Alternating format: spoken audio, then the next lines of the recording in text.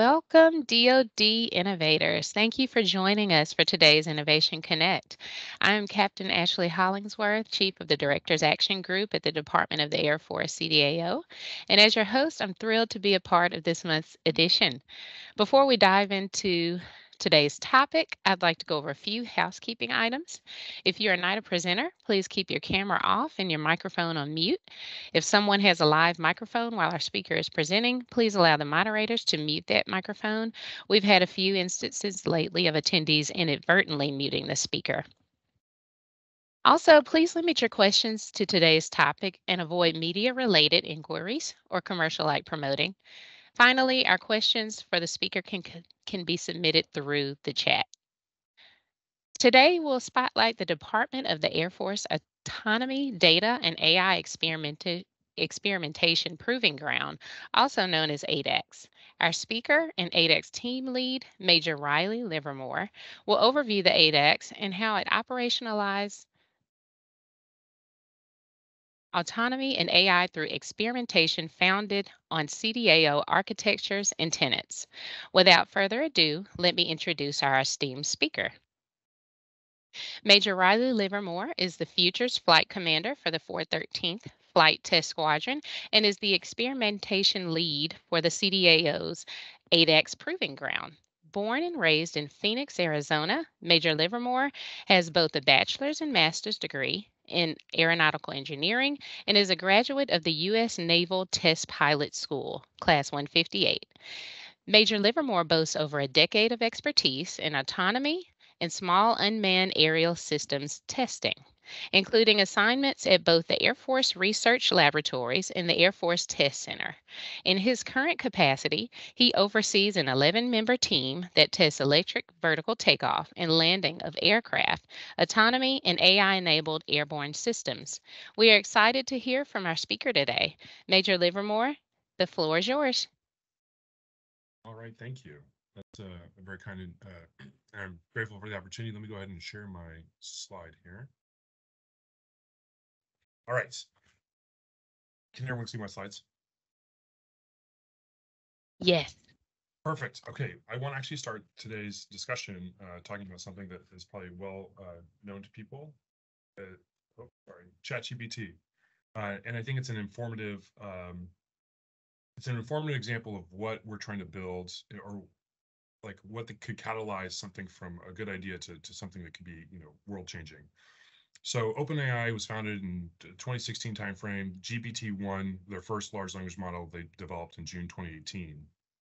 And they made some iterations, GPT-2, GPT-3, over the course of the next four years that were largely, you know, outside of, you know, scientific communities. It was not, it didn't really kind of permeate the zeitgeist of, uh, uh, of the world, honestly. And so what was interesting is, you know, they decided to throw a chat interface in front of this large language model and uh, OpenAI actually didn't think much about it. They didn't think it'd be what it was. It just uh, it was just something, you know, another kind of a, a, small iteration. They thought, and you know that was November 2022, and, and over a little over a, a, month, they had 100 million users, which is just absolutely insane. And honestly, it kind of it's changed the course of. It feels like it was like a very much a seismic shift in how the world views AI. Um, I think the that that concept of like putting a chat interface on top of a large language model is uh, exactly what we're trying to get at with ADAX is how can we start kind of grounding these things, creating interfaces that, that people can use it, interact with AI, and start testing it in meaningful ways. Uh, and so that's kind of, a, I think, a really informative uh, approach that's kind of, if, um, that's, that's inspired us. Now, that being said, what tends to happen, at least my experience in the Air Force, is there's a lot of really enterprising, innovative, hard charging people. They've got limited number of resources and a kind of a, a problem size they're going to get after. And so you have a lot of things happening in parallel in stovepipes kind of throughout the DAF, right? And so I know the secretary likes to use a, a you know a thousand blooming flowers, but I think what what the the challenge might be for us is, is we can kind of if we try to go at this at this kind of like grassroots level and everyone tries to solve the problem, we're not going to have be able to kind of combine those resources to really make something meaningful. And so I think that's where somewhere with the CDO's guidance and having the, the secretary or the DAF level kind of oversight is incredibly important. And that's where ADAX steps in. Um, so what is ADAX? Uh, ADAX is a joint DAF CDO and AFWERX venture uh, hosted by the 96 Test Wing, which is where you know, Eglin Air Force Base is, that uses experimentation to drive the future of autonomous and AI capabilities. Um, what I kind of the, the context of this this presentation really is to kind of go through those different tenets, right, of what kind of comprises what we're trying to build with ADAX. Um, so looking at partnerships, resources, some experiments we're actually doing currently, um, policy and training and education. Uh, of note, I think we see ADAX is really not necessarily um, like when it talks about policy or training education, we're not actually we're collecting data and doing experiments that we're hoping to feed back into the policy loop. So that's where like the connection with the CDO is so important. Um, and AFWERX is such a, a, crucial ally too because there are conduit to small small businesses, what innovation is really happening outside of the DoD. So with that, I'll, I'll, first talk about resources, some of the resources we're tapping in. Um, the first one kind of top middle, uh, AI savvy workforce uh, on one hand, we've been doing a lot of this stuff for a while now, right? Uh, Eglin's even just looking at Eglin alone, um, the cyber test group has been doing some kind of dabbling with uh, AI in different applications for cyber and um, uh, like uh, some of their those different test programs. Right, the air for the munitions directorate has a uh, looking at doing autonomy and AI. Um, within the OG, we've been doing the ops group. We've been doing a lot of this as well. So there's a there's kind of a, a um, constituency here already of people doing it. And really, ADAX is trying to do is let's align these efforts and, and make sure we're sharing common tools. Uh, and this extends beyond Eglin, right? So we're working with folks um, uh, throughout the DAF uh, to include uh, other Air Force test center bases like Edwards and some of the good work they're doing. Um, uh, going clockwise here, the digital synthetic range. So the challenge with a lot of autonomy and AI is you want to do it in the real world, but you can't between uh, the complexity of the scenarios you're trying to develop or uh, just the number of runs you need to do. Like we need to have uh, sophisticated simulation tools. Uh, and I think the what we're building, uh, really excited about, we're kind of in the, the, the, process of developing this is building an actual digital twin uh, of the Eglin range or parts of it at least to start so that I can do things in simulation and then I can do those same things on the live range in the real world. And that helps um, I can actually like validate what's happening in the sim, and also start doing things, uh, you know, with a mixed reality, right? Live virtual constructive. So I can use parts of this high fidelity simulation uh, combined with actual flight tests and using things like restricted airspace and stuff to do things in the real world, which that ties right next into the the, the bottom right there. Eglin's got some incredible uh, range space resources, right? Both large land ranges, but also, uh, you know, a, a, giant water range kind of stretching from the, the panhandle to almost down to the Florida Keys. So there's a lot of opportunity to do stuff in the real world. And much like the chat GPT example, I think the more we can do things in the real world using actual hardware, um, one that just gives us confidence that these systems can can actually perform and it's not just you know simism type stuff. Um, but two, it also helps kind of like uh, get better exposure to some of the challenges like operating in space, just all the things you have to go through to make it happen. I think there's value added in that as well. The data and, and computing infrastructure, uh, maybe I'm preaching to the choir. Hopefully, I think this is like the uh, unsung hero of how all this works. So I think everyone likes to see kind of the, the cool thing flying, the exquisite use of it, but like what's going on under the hood? How are you managing this data? Um, what kind of computing and network resources do you need to make this all happen? Uh, that is still something we're, we're growing and trying to develop. And so the goal is, you know, ADAX using CDAO, tenets, architectures, et cetera, how those, let, let's start like doing that, iterating on those so we can kind of have a common playbook, you know, uh, how we do data types, data formatting, things like that, so we can work better across different sectors, right? And then we, also we can look to how industry does it and interface better with what industry is already doing. Uh, and then test platforms. This is the fun part. We're getting a bunch of different small UAS uh, to include some larger, like the XQ58. We've got a couple of those uh, within the ops group that are are perfect kind of surrogate platforms for testing autonomy uh, in the world.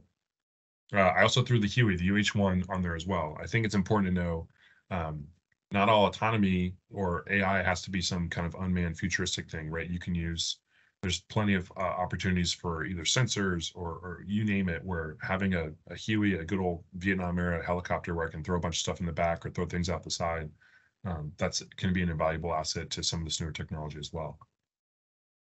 And then lastly, um, autonomy at test infrastructure. I think we're seeing the rise of a lot more software kind of centric companies where they don't necessarily have uh, the whole kind of they don't actually own any aircraft, right? So they're developing software, autonomy, uh, AI solutions, but they need to host it and fly it on something. Uh, and currently, we have kind of like a one-off every every single time we want to do something. It's like we kind of have to start from scratch uh, to get like their software integrated on. There's airworthiness assessments. There's you know all kinds of um, safety implications of how you know fail safes, et cetera. And so what we're we're building simultaneously is we're actually building like an autonomy test, like a sandbox, right? Where again, there's certain interfaces. We've got the hooks in place to allow for the modularity for different vendors to use um, uh, to interface with this, so they, they could fly on our aircraft very quickly, and it doesn't necessarily change any of our airworthiness or safety uh, implications. And so that allows that quick iteration, right? So I think a lot of a lot of this testing in general, you need to be pretty flexible see where it breaks, fix it, come back, see if it breaks again. And that, that iterative nature is really important. And having an autonomy test infrastructure and kind of all the procedural stuff in place to allow for that rapid iteration and do it so safely uh, is crucial. Okay, now the fun part.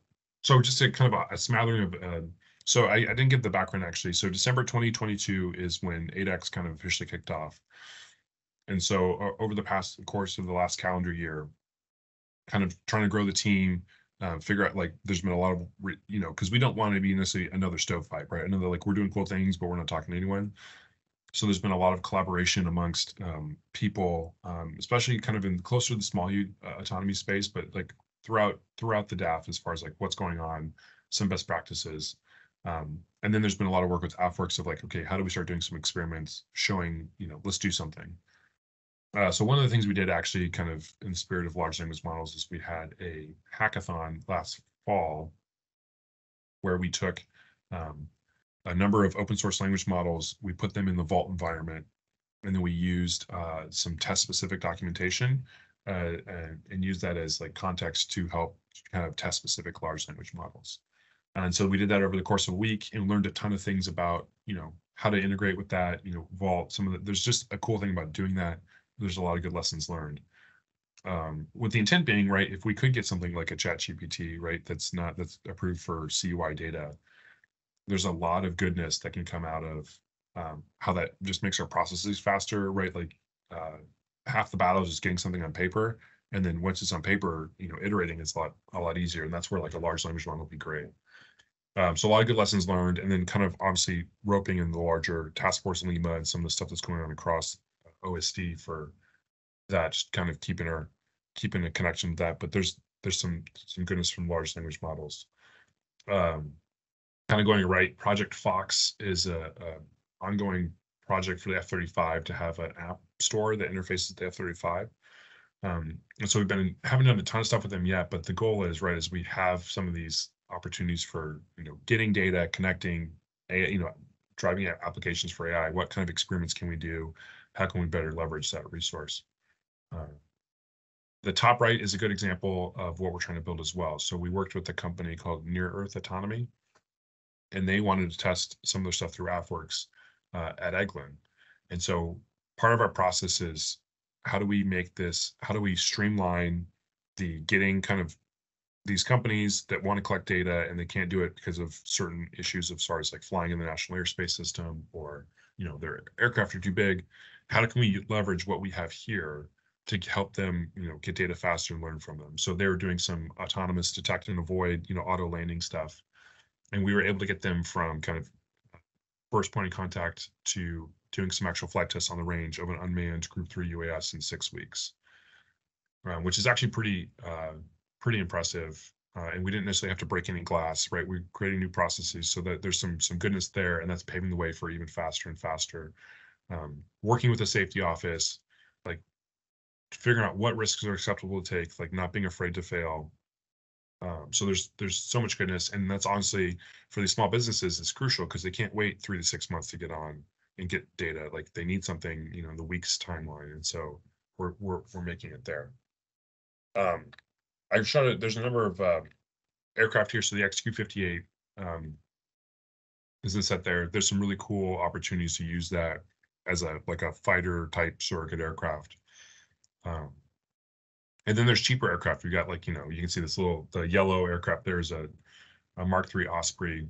It's a little we call it, call it a little yellow school bus. Carries 20 pounds of payload, which is perfect though because it can we put a little EOIR sensor on there, and we can kind of do some really interesting autonomy autonomous stuff. Um, it's less sexy, obviously, but I think the real value is like what's kind of going on under the hood, right? The decision, you know, the networks, how, how all this is all working.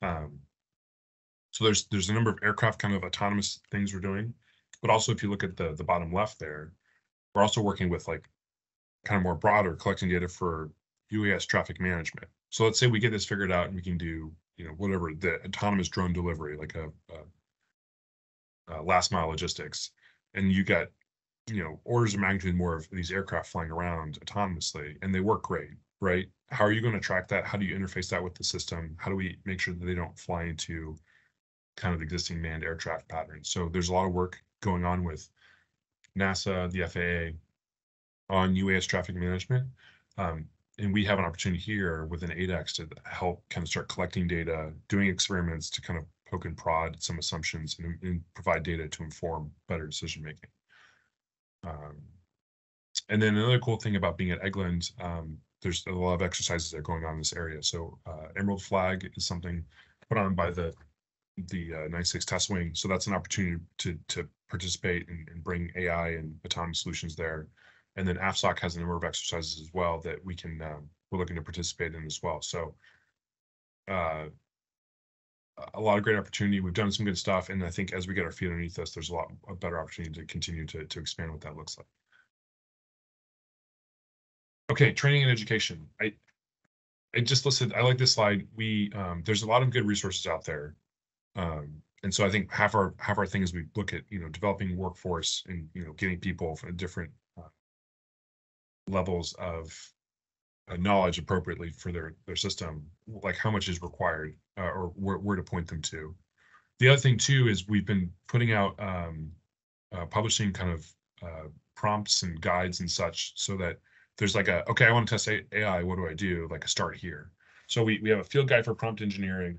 Um, we have an artificial intelligence test evaluation primer that's like uh, almost ready for for it's finishing up its final two letter coordination. So that's hopefully uh, you know, a week or two away from being published by the CDO. Uh, and then also like an air domain autonomy test and evaluation handbook, right? And so there's a couple other ones we're looking we're working on as well. But the goal is as we do these experiments, right? Uh, as we kind of build up this, how do we build this corporate knowledge? How do we make sure that this isn't siloed? And this is a, a perfect example of like best practices, things we've learned, um, start here guide, so that we're uh, we're at least you know giving people a, a, a, block to step off of, as opposed to having to learn the lessons their own the hard way. So I think there's a lot of value in kind of documenting what as we're doing these experiments, lessons learned, et cetera, um, how to make sure that, that that's passed on. And then partnerships. I think this is a, a cool one where this is something I think the OSD, the DoD in general is trying to kind of wrap their or you know wrap their arms around. So there's been a lot of good work with uh, joint partners, right? SOCOM, Army, uh, NAVAIR, NAVSEA. They're looking at autonomous type stuff. Um, again, it's that collaboration, lessons learned. Let's not reinvent the wheel. Um, and then also just as we have different resources and, and range types and expertise, like how do we kind of work across those areas? Um, that TRMC has been uh, been a, a, key sponsor as well, specifically in some of the di digital simulation tools and, and, how we test those test autonomy. And then just a lot of good synergy right now um, within the nice or within the Eglin enterprise, but also kind of throughout with Edwards Edwards Air Force Base as well. Uh, and that is all I have. So I guess I'm happy to open up for questions. Has.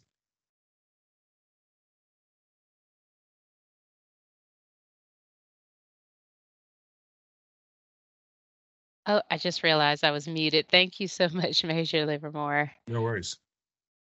So we will open it up uh, to questions if you haven't already. You can post them in the chat, and we do have a couple here. So we're going to start with uh, first question from Sandra Smith.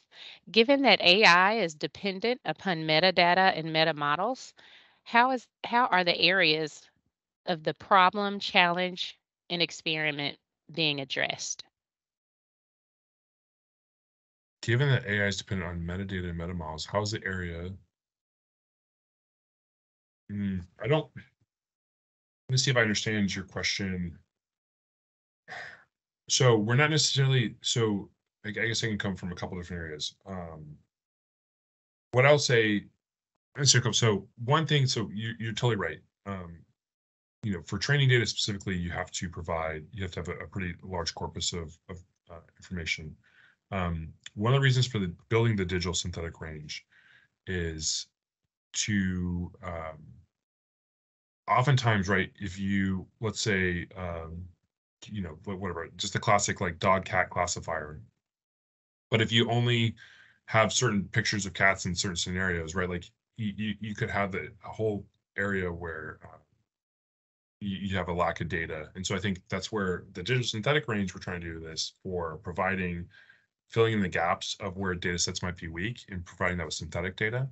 Um, and and I kind of gloss over a little bit. I have kind of a whole nother brief on what we're building, but you know, being it's like physical, like that's um, physics based imagery, right? So you're uh, so that that's kind of an area we're trying to provide that, so we can help augment the training there. Uh, I think a lot of the experimentation we're looking at is after you have a trained model, right? Let's say you know, decision engine, whatever, and you want to test and see how it does in the real world. Like we've kind of have the test course where we can kind of get you on and see how well it does. Um, But there can be. oh, but there's there's a all of that depends on having some kind of contextualization of that data so that the models can learn or at least use Euclidean, you know, relationships to be able to understand and get better at prediction or simulation. So in in this framework, where is that metadata mediation happening so that we can further that work?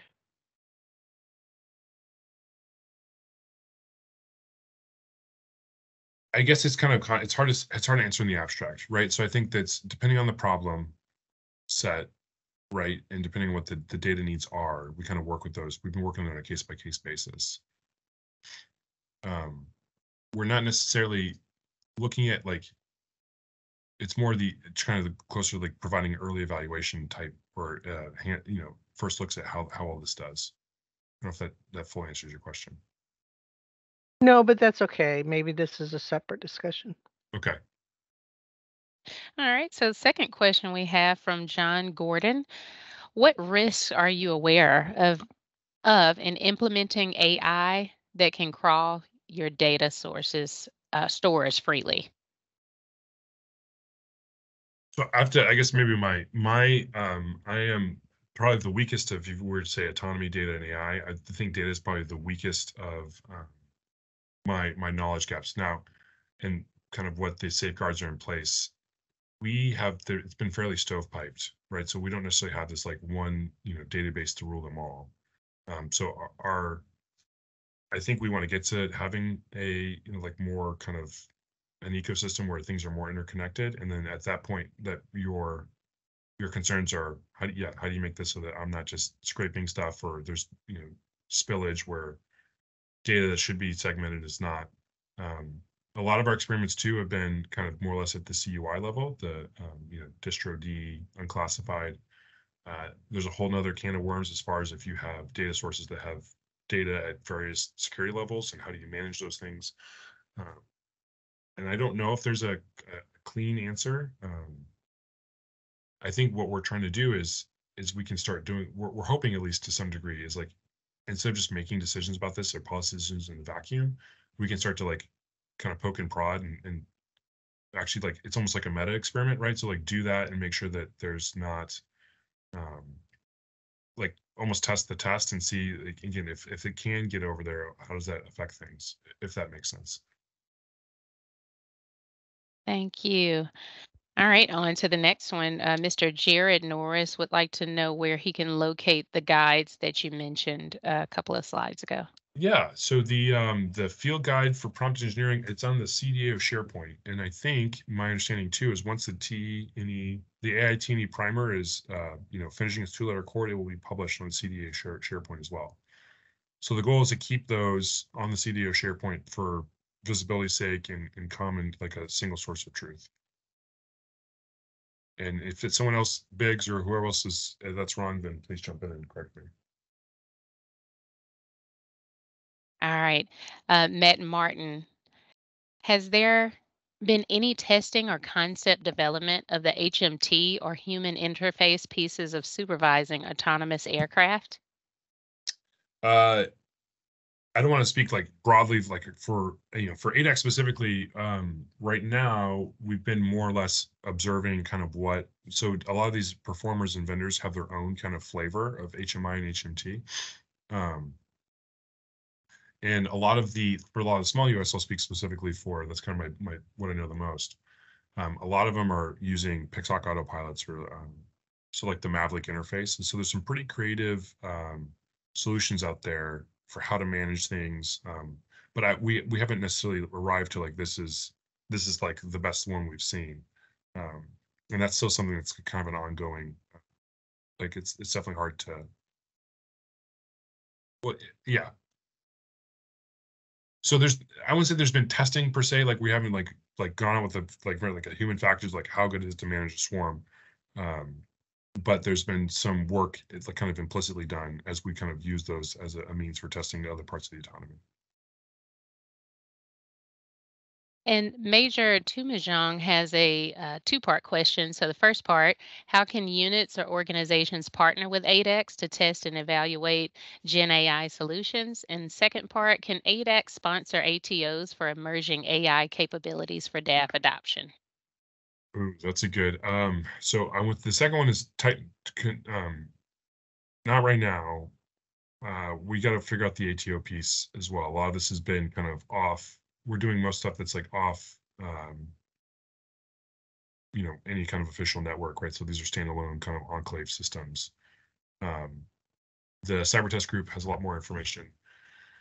Uh, and I think the the big thing right now is uh, for partnering with ADAX, like you can reach out to me directly. Uh, the, there's some folks at the CDO are at Belly Buttons as well. Um, Major Bogalski and uh, uh, is one, and then also, yeah, it depends. Like uh, AFWERX is also another way. So if there's some SBIRs or SBIRs, and AFWERX is that's another way of getting in as well. So there's a couple different avenues.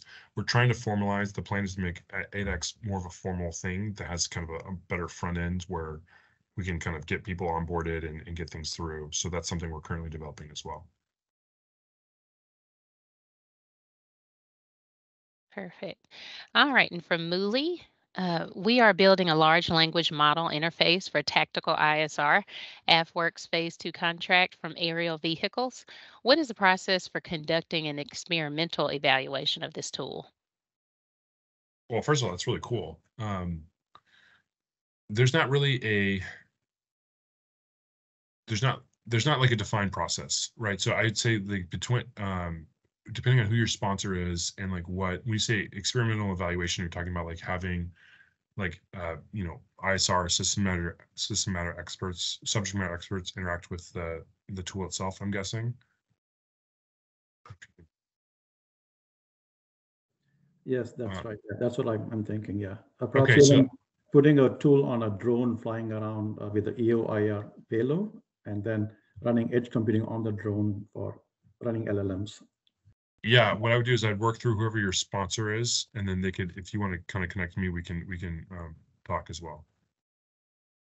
Thank you. And from Joe, he's asking about the partnership slide.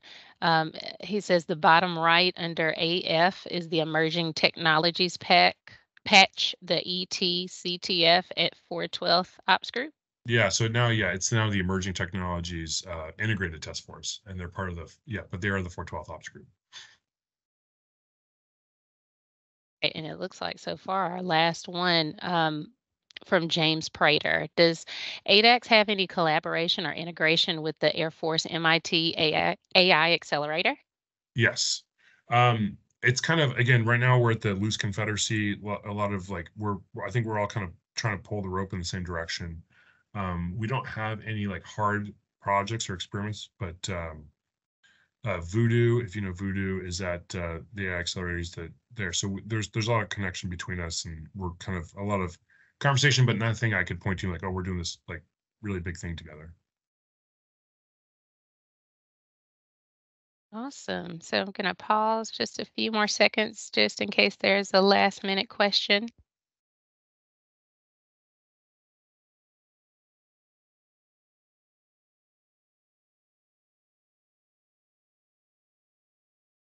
All right, perfect. Well, uh, Major Livermore, we really appreciate you and your uh, presentation today. We thoroughly enjoyed it, and we want to thank everyone for joining our February Innovation Connect. We're grateful for your continued support of DoD innovators and the DAF CDAO as we celebrate over three years of the series. We have several pioneering projects underway and look forward to spotlighting each project and speaker. Our next webinar will host Ms. Asha Saxena, the CEO and founder of Women's Leaders in Data and AI, commonly known as WILDA. Ms. Saxena will overview the organization, emphasize the need for diversity and inclusion for innovative solutions in data and AI, and break down complex AI concepts. Approved videos of our past events are available on the Department of the Air Force CDAO YouTube page. And as always, we welcome your recommendations for future Innovation Connect topics to our DAF CDAO communications mailbox. Thank you for your participation, and we look forward to seeing you again.